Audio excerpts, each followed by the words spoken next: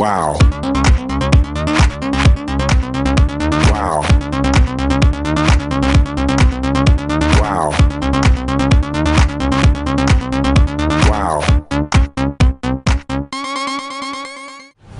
Untuk yang ni saya nak uh, ceritakan teori logik tindakannya. Sebab setiap kali kalau orang tanya bila waktu yang sesuai beli emas ni tak bila waktu sesuai beli emas ni saya cakap sekarang seorang pun tak percaya. Okey. Tak ada yang percaya. Sebab dia tanya orang lain orang tu cakap macam tu dan dia terkena. Ha, kalau saya tanya saya, saya cakap sekarang Saya ada reason kenapa sekarang? Dan kalau dia tidak berlaku seperti yang saya nyatakan Apa tindakan yang perlu anda buat? Okey. Dan untuk minggu ni Bila waktu yang paling bagus beli emas Hari ni. Betul. Kalau tak percaya, jangan beli dulu. Kalau tak percaya, jangan beli.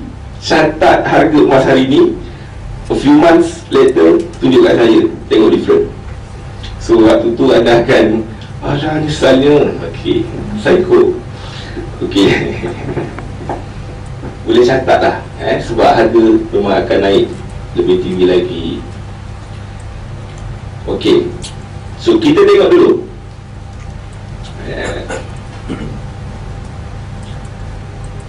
Okey So Ini paling Langkah yang paling asas sekali Tuan-tuan dan puan Ramai orang yang dia tak tahu matlamat pelaburan dia yang sebenar.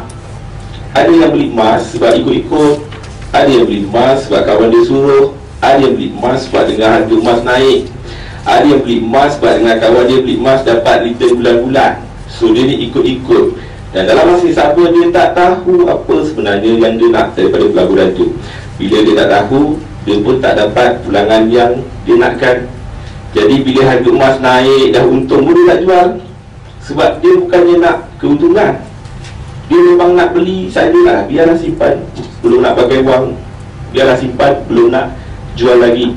Jadi tuan-tuan perempuan kena make sure Tahu kenapa nak beli emas Dan hari ni di Malaysia Saya uh, supaya tidak berlaku kekeliruan ya Ada kelompok mereka yang giat mempromosikan pembelian ataupun uh, suruh beli emas, suruh beli perak ni. Eh, ada dua kelompok ni. So jangan keliru. Dua-dua ni cara dia sama lah suruh beli emas, suruh beli perak. Tapi matlamat yang ingin dicapai daripada pembelian tadi. Itu berbeza. Ok so kelompok yang pertama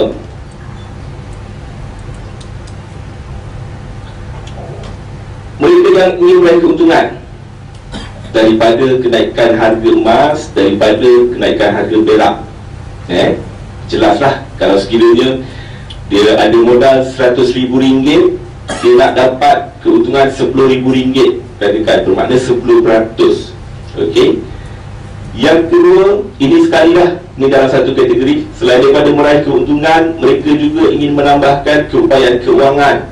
Kalau sekarang ni simpanannya ada RM10,000 dengan membeli emas dia mengharapkan simpanan tadi boleh bertambah kepada RM15,000 ataupun RM20,000 jadi dia ada satu matlamat. Dan dalam masa yang sama ada yang menyediakan satu modal pelaburan khas untuk diinvest. So macam yang saya lakukan saya spend satu amount capital untuk pelaburan dan saya akan gunakan modal itu untuk pelaburan sahaja. Eh? Nak beli susu anak, beli paper tak pakai duit tu. Yang biasa berlaku rugi ni sebab macam tu. Belum harga emas sempat naik, susu anak dah habis. Belum harga silver, harga silver nak naik 6 bulan Pampers ni dah habis dulu, terpaksa jual. Dah rugi. Okay, so dia akan sediakan satu modal yang khas untuk pelaburan. So ketiga-tiga ni, dia satu kelompok yang sama. Eh? Kemudian yang keempat okay, Yang ini yang kelompok yang satu lagi. Mereka mempromosikan emas, silver Untuk tujuan perlindungan susut nilai eh, Daripada simpan duit Kenapa nak simpan duit? Kan susut nilai, kan inflasi Lebih baik simpan emas. So, objektifnya bukan keuntungan. Objektifnya untuk value protection. Maknanya mereka memang tak mencari uh, uh, uh, pertambahan keuangan dan sebagainya. Mereka cuma inginkan pengekalan kuasa beli. Kalau hari ini RM10,000 boleh beli katakan uh, Okey, RM1,000 hari ini boleh beli handphone uh, Android. So, dia nak protect RM1,000 tu 10 tahun lagi masih tetap boleh beli handphone Android. Contoh ok jadi dia beli gold or silver. Tapi bukan untuk tujuan keuntungan just untuk protect. Dan yang kelima eh, mereka promosikan untuk mengembalikan penggunaan emas dan juga silver especially dinar dirham lah sebagai mata wang so yang dua, dua yang last ni mereka berada dalam satu kelompok yang sama. Jadi dia ada dua kelompok. Satu Dua. Yang atas ni mereka lebih mensasarkan untuk pelaburan Untuk meningkatkan keuangan Untuk menggandakan keuntungan. Yang bawah ni fokusnya atau matlamatnya bukan untuk profit. Okay? Bukan untuk bukan untuk dapat keuntungan. Jadi mereka ini atau kelompok yang ini Mereka tidak memfokuskan kalau nak jual nanti nak jual tak siapa ya Mereka akan kata Emas kan laku Jual kat mana-mana pun laku Pergilah luar negara Kat mana-mana sekalipun asalkan dia emas Masih tetap laku. Dan antara kata lainnya Emas tetap emas Tak kira macam mana keadaan rupa bentuk sekalipun Dia tetap bernilai. Eh?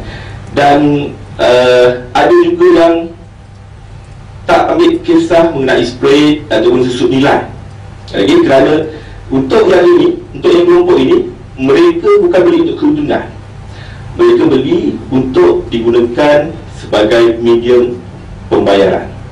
Okey, jadi Kalau satu dinar, katakan Satu dinar boleh beli seekor kambing.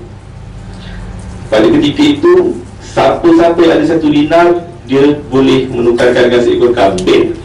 Tak kira lah dinar tu dinar Public gold ke Dinar tu dinar pohkong ke Dinar tu ada LBFA ke ataupun tidak Dinar tu ada sertifikat ataupun tidak Ditandatangani oleh siapa Tak kira semua tu Asalkan satu dinar berat 4.25 gram Satu dinar 916 Dia boleh beli seekor kambing.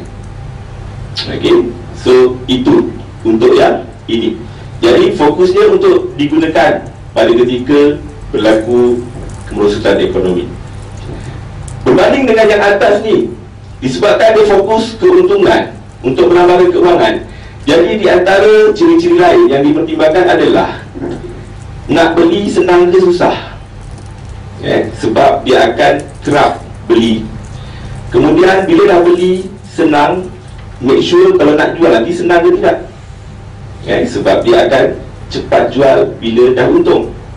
Kalau nak jual tu susah, kena naik sampan, naik rakit, lima hari baru sampai, So itu akan menjadi satu penghalang kepada pelaburannya eh?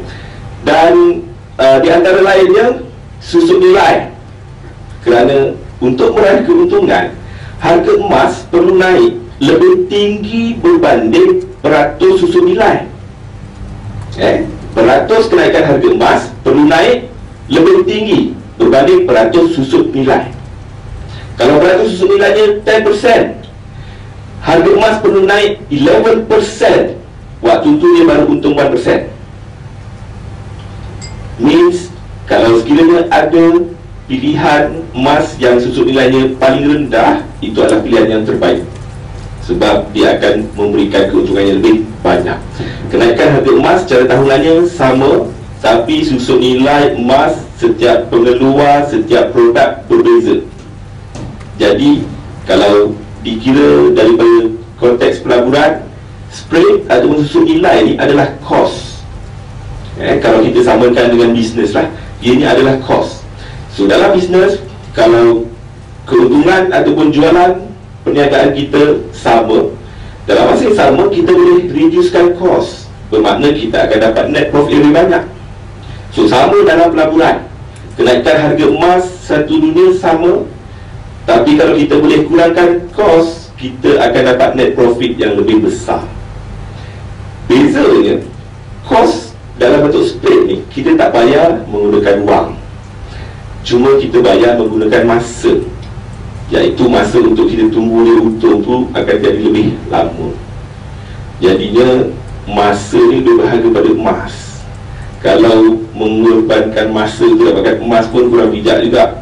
Okey, so di antara ciri-ciri yang ditawarkan oleh public gold Setakat ni di Malaysia Public gold menawarkan spread ataupun susu nilai yang paling rendah.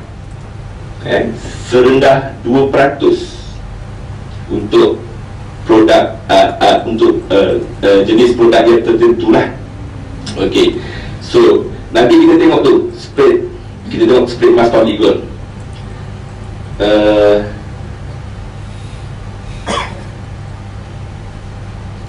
Okey. Spread emas public gold ini spread untuk produk biasalah. Eh. Dia ada 10 gram, 20 gram, 50 gram dan 100 gram. So setiap satu produk ni spreadnya berbeza. Eh. Dan untuk kita paling senang ingat, kita cuba perlu ingat ini adalah common practice worldwide. Produk emas dengan variasi berat yang paling ringan dia biasanya dikenakan spread yang paling tinggi. Dan variasi produk yang paling besar dia biasanya dikenakan spread yang paling rendah. Jadi kalau nampak kecil confirm tinggi okay?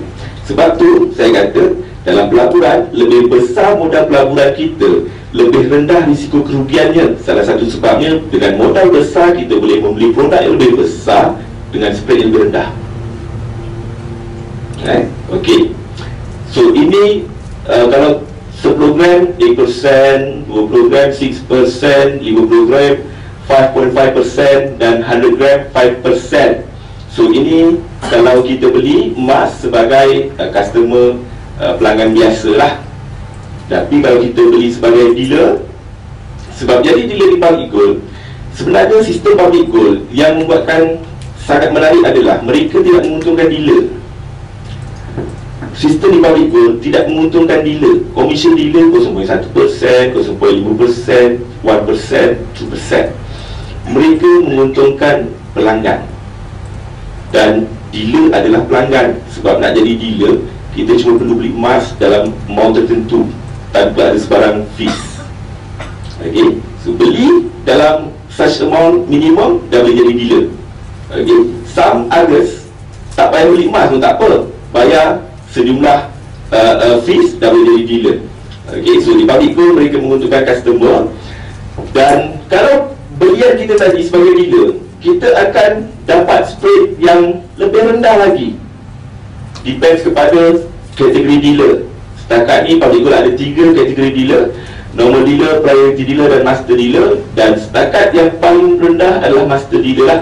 Lebih tinggi level dealer Akan membuatkan uh, spread ataupun susun nilai yang kita akan dapat lebih rendah lagi. Okey, dan untuk produk 100 gram Kalau beli sebagai master dealer Spread ataupun susun nilai Cuba 2.5% Dan produk yang paling rendah spread iaitu produk yang paling besar 250 gram dan 500 gram.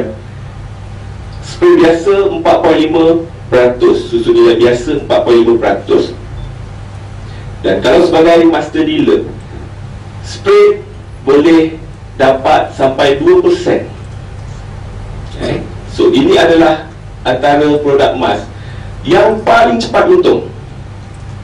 Okay? Dan yang 10 gram tadi Adalah produk emas yang paling lambat untung. Okey, sepanjang produk tu dikeluarkan Baru sekali pernah untung. Itu pun siapa yang beli bulan 5 hari tu Yang harga paling rendah tu? Sekejap dia pun rendahnya. Lepas tu naik baru-baru ni adalah untung. Adalah untung sikit. Lepas break even naik sikit je Lagi bagus beli yang 4.5% Boleh untung 3 to 4% Tempoh masa sama Tapi keuntungan berbeza. Kan lebih baik pilih yang Keuntungan yang lebih banyak. Okey So ini bar Jadi formulanya lagi besar Lagi cepat untung Lagi besar Lagi banyak untung. Dan modal yang lebih besar lebih besar keuntungannya juga lebih rendah risiko kerugiannya. Dan dinar public gold juga jual dinar so produk dinar public gold satu dinar, dua dinar dia sama spread. Kalau beli sebagai customer biasa spread dia 6% as a master dealer 3.5% dan yang medium 5 dinar spread biasa 5.5% uh, master dealer 3% untuk 10 dinar yang ini yang paling besar eh, produk yang paling besar spread normal 5% dan spread untuk master dealer adalah 2.5% setakat ini public gold menjelang 2012 10 dinar ni adalah yang paling laku. Tahun 2011 1 dinar yang paling laku. Ha, tunggu stok satu dinar tu berminggu masuk berbulan. Sekarang ni yang 10 dinar yang paling laku. Okay. So ini antara produk-produk yang terbaik untuk pelaburan. Maknanya sebelum kita bercerita lebih teknikal, bercerita tentang teori pasaran, kita tengok dulu produk-produk pelaburannya yang worth to buy untuk memaksimumkan keuntungan. Dan hari ini saya bukan setakat nak berkongsi mengenai memaksimumkan keuntungan sebab ada lagi penting daripada memaksimumkan keuntungan iaitu mendapatkan keuntungan yang konsisten lebih penting daripada mendapatkan keuntungan yang maksimum eh? ada orang yang mendapatkan keuntungan maksimum 10 tahun orang yang mendapatkan keuntungan konsisten berterusan and continuously menjadikan keuntungan konsisten walaupun sikit-sikit tapi jauh lebih banyak berbanding yang untuk maksimum eh? so kita akan tengok lebih baik makan nasi sikit-sikit tapi boleh makan hari-hari daripada makan nasi sampai muntah cuma setahun sekali. Yang mana? makan hari-hari ni yang setahun sekali ya? eh, makan kenyang-kenyang lagi cepat lapar. Sebab bila dapat untungnya banyak belanja ni pun banyak tahu-tahu habis. Nak tunggu lagi 2-3 tahun baru boleh untung. Ok so itu. Nanti kita akan tengok yang mana lebih uh, berbaloi nak untung konsisten ataupun untung maksimum. Dan untuk untung konsisten eh untuk untung konsisten ada ada ada beberapa uh, okey kita tengok. Okey. So ni tadi tujuan-tujuannya. So antara tindakannya Kalau tuan-tuan dan puan nak meraih keuntungan Bila dah untung cepat-cepat jual Sebab tujuannya nak untung. Jadi kalau dah untung jual cepat. Sebab kalau tak jual cepat Nanti dia turun balik jadi rugi balik. Eh? Kena jual cepat. Tak apa kalau dia nak naik lagi pun Lepas ni boleh beli lagi. So untuk kenaikan yang kali kedua ni kita boleh dapat keuntungan dua kali. Eh? Jangan tamak. Ada yang tamak saya boleh tahu dah boleh jual lah ni since September. Eh saya tak mau jual orang kata bulan 12 lagi tinggi lah memanglah bulan 12 lagi tinggi? Bulan 12 tahun depan lagi tinggi. So jangan jual bulan 12 tahun ni. So kalau tahun depan dia tanya saya cakap yang sama. Sampai penyudah tak jual-jual. Okay. So dia tak sempat tunggu bulan 12 Harga dah turun lagi. Okay. Sepatutnya kalau dijual Dia boleh untung. Dan sekarang ni dah boleh beli lagi. Dah boleh 2-3 kali Dapat keuntungan. Ha, Tapi disebabkan Dia nak maks keuntungan maksimum Dan terlupa keuntungan konsisten Okay So Bila dah untung Kena cepat-cepat jual. Itu Kalau sekiranya tuan-tuan perempuan Nak meraih keuntungan. Berapa banyak terpulang Nak untung berapa banyak? Kalau nak untung RM1 Untung RM1 jual. Okay? Sebab kita nak untung Berapa banyak untung yang kita nak Kita letakkan Nanti saya akan tunjuk uh, Cara-cara yang lebih uh, detail. So yang kedua Kalau sekiranya tujuan kita tadi Nak menambahkan kemampuan keuangan eh, Daripada sejumlah simpanan yang sedia ada Kita nak tingkatkan Tetapkan. Kalau simpanan yang kita guna tadi RM10,000 Tetapkan kita nak bertambah berapa ribu? Ataupun berapa persen? Let's say kita ada 10 ribu ringgit kita nak ada bertambahan 50 persen 50 persen. Bermakna kita nak jadikan ia kepada RM15,000 so fokus untuk men, uh, uh, menambahkan keuntungan sebanyak 50% tu. Keuntungan sebanyak 50% tu tak semestinya dia beli sekarang lepas tu tunggu sampai naik 50% baru jual. Boleh juga. Okay, tapi itu akan memakan masa. Sebab dalam perjalanan dia nak naik sehingga 50% tu dia naik sikit turun naik sikit turun. Dia akan memakan masa cara yang kedua dia tak perlu menunggu masa yang lama. Cara dia dengan menetapkan untung yang kecil-kecil. 5% cukup. Tapi kalau 10 kali dapatkan dah 50% dan nak dapat untung 5% sebanyak 10 kali itu jauh lebih mudah berbanding mendapatkan keuntungan 50% sekali. Selesai 10 tahun. Okey? Baik. Yang ketiga Kalau sekiranya Nak menggandakan modal pelan-pelan Katakan modal pelan-pelannya RM100,000 Tetapkan Berapa penggandaan modal yang dia mahukan Biasanya penggandaan uh, Kalau dia nak menetapkan jumlah penggandaan ini Yang lebih baiknya bila jual dapat untung untung jangan ambil dulu. Reinvest ya, kalau dia kata modalnya 100,000 uh, untuk belian kali pertama dia untung 5% so dia jual emas yang dia beli kali pertama sebanyak 100,000 tu dia akan dapat 105,000 so untuk next purchase eh, untuk belian kali kedua make sure dia gunakan ke semua modal 105,000 tadi. Beli semua. Jangan ambil keuntungan dulu. Eh, Sampailah dia capai Target jumlah modal yang dia nak tadi. Okey, kalau yang kedua ni dia boleh belanja Kalau dia ada 100 ribu Dia nak keuntungan 20% So dia akan ada 120 ribu So 20 ribu tu dia nak belanja, belanjalah. Asalkan yang 100 ribu Duit pokok tu masih ada. Okey. Dan kalau tuan-tuan dan puan Tujuannya nak melindungi susuk nilai ada duit tukar semua. Tak payah tengok harga naik ke harga turun ke susah nak jual ke senang nak beli ke itu tak payah pedulikan ada duit tukar. Lagi sebab kita nak lindung nilai. And gold and silver memang dia lindung nilai kepada kadar inflasi.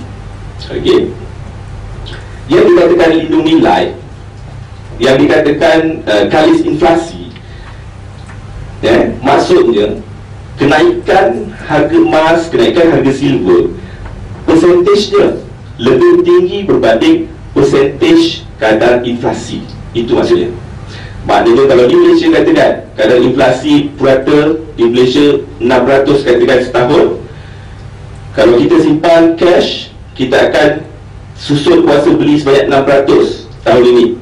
Tapi kalau cash yang sama kita convert kepada gold dan untuk tahun ini uh, Gold harga emas naik sebanyak 15% Okey? Maknanya kenaikan sebanyak 15% Tolak dengan susun nilai sebanyak 6% So dia ada lebihan 9% Itu yang dinamakan melindungi uh, uh, kalis inflasi. Tapi kalau sekiranya Beli emas yang susun nilainya 25% kalau dia jual tahun ni Dia minus lagi. So lebih baik simpan dalam ASB Okay Kalau tak susun nilai banyak pun At least break even pun okay Daripada dia terpaksa Kehilangan beberapa belas peratus. Dan last kali Pun sama jugalah Setiap kali ada duit tukar. Dah tukar baru belanja. Ha, So tak perlu nak Ini ada BMA tak ni? Mana saya Siapa Tak ada certificate So tak perlu tak perlu uh, check semua itu As long as ada cash Tukar terus. Jadi gold, jadi silver Okay, so untuk yang dua ni dia tak berapa Tak perlu concern sangat uh, Mengenai naik turun pasaran. Eh, Tapi saya pasti hari ni kebanyakan yang mana? Yang atas ni. Ataupun yang bawah. Mana bang? Abang datang jauh-jauh ni. Mana bang? Atas. Kalau yang bawah cakap yang bawah ni Abang call ni saya cakap. Okey, baik. So hari ni kebanyakan yang atas. Jadi tuan-tuan membuat uh, Ada tiga kolom uh, So saya rasa mungkin anda dah boleh Setkan target yang dimahukan Dan menetapkan tindakan apa yang harus anda lakukan selepas ni. Okey, so dah clear dah? Eh, dah tahu dah maksudnya dah tahu sebabnya kenapa anda start nak beli emas start nak beli silver dan dah tahu apa yang perlu anda lakukan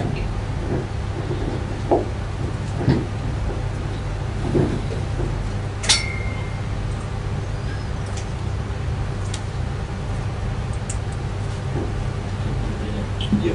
Saya manusia sikit. Boleh. Uh, sebelum ni saya uh, saya mencukuri bidang uh, batu dunia di Jepang awal uh, awal 2011. Itu saya ada duit sikit, saya labur dengan batu pun. Dan di situ saya uh, ilmu emas ni tak ada lah. Cuma saya banyak tengok uh, pelajaran punya uh, blog. Di situ saya untuk mudah sebab itu beli emas jauh daripada Melaka pergi KL. Gambir. Jadi saya uh, yang langkah yang keempat Okey, susun nilai sudah naik. Dan uh, baru-baru ni bila saya uh, simpanan saya melebihi 85 miliar uh, Kita ada kena zakat Jadi bila di situ lah saya tersentak. Sebab bila saya simpan tersebut lebih kurang zakatnya Bila saya tanya pejabat zakat di situ lebih kurang uh, seribu lebih lah Saya dah RF. RM jadi kat situ lah bila saya tengok balik Kebetulan malam tu saya tengok yang stedi Stedi lima ni Kenapa saya tak uh, tak hadir tu tak eh, tak hadir sebelum ni. Jadi itulah salah satu Yang mencetuskan. Mencetuskan idea saya hadir. Ini untuk mungkin pengalaman berkongsi dengan yang lain. Sebab di situ kita sebagai seorang Islam jadi uh, Bila dalam SB ke tabung haji dia dah bersih tak fikir tentang zakat tadi tapi bila saya menyimpan emas jadi tanggungjawab saya tak lepas sebagai seorang Islam yang perlu keluarkan zakat. Dan bila saya call uh, pejabat zakat jadi tersentak. Tak boleh bayar saya- pakai ni. Pakai tu tak boleh bayar. Ya itu sebab saya, saya baru ni saya jual lebih kurang dalam 11,000. Uh, Tak bayar pakai tu tak boleh. Bagi terus kat dia. Dia tak nak. Dia nak cash juga. Dia nak fiat juga. Zakat ni dia Nak fiat juga. Ya, dia- Jadi kat situ saya uh, banyak persoalan. Jadi uh, hari ni saya datang kemari uh, mungkin ini uh, ada Boleh dapat sikit-sikit lah. So kalau ada muskilan nanti bolehlah tanya. So saya uh, saya boleh dengan perempuan saya belum ada pengalaman membayar zakat emas dan perak kerana emas yang saya simpan tu tak sempat cukup haul saya cuma bayar uh, uh, apa nama zakat harta lah 25% juga setahun tapi zakat emas dan perak tu belum lagi sebab kebanyakannya tak sempat 3-4 bulan pun dah jual lah. So dia cukup setahun dan melebihi 85 gram baru perlu dizakat so kalau tuan-tuan dan perempuan uh, ini kadang orang terlupa. Uh, yang simpan eh, dia sikit sikit sikit. Dia saja tak mau tengok tak mau tengok lah. Kurang-kurang surprise. Jadi kena check. Kalau dinar tak silap saya tiga uh, uh, uh, berapa dinar 20 keping satu dinar. Kalau satu dinar tu lebih 20 keping dah kena zakat dah perlu bayar zakat dah. 85 gram. Dia punya beratnya dah perlu zakat sebanyak 25% rujuk laman web pusat zakat majlis zakat dia ada kalkulator key in je. So pen, uh, jumlah tersebut akan dipaparkan lah. Ok so terima kasih untuk perkongsian ni. Mungkin ada juga duk kira-kira eh aku punya berapa gram? Ada dengan kira ok Wow.